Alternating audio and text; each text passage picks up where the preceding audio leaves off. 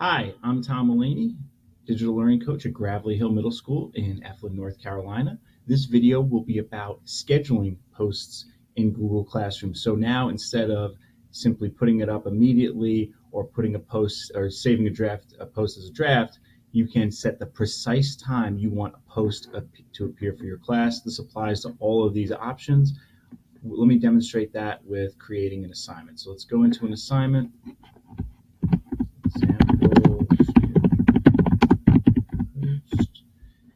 And let's now to show you that you can do this with all the capability of Google Classroom. I'm going to include a document that we will make a copy for each student, one of the magical features of Google Classroom.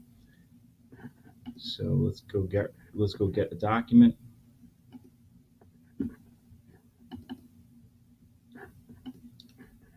And add it to that assignment. We will make a copy for each student like I love to do.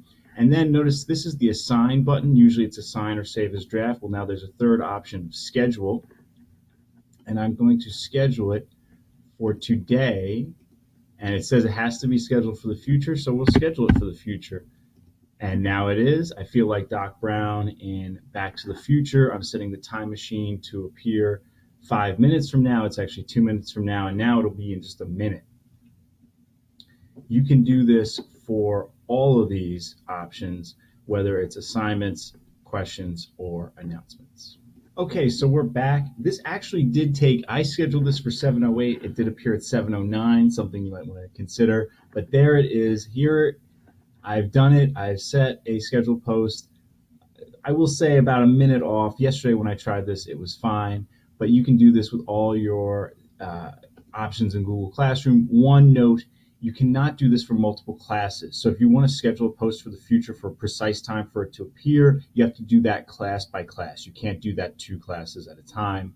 Um, but it's just as easy as I showed you. So it's no, it's really no big deal.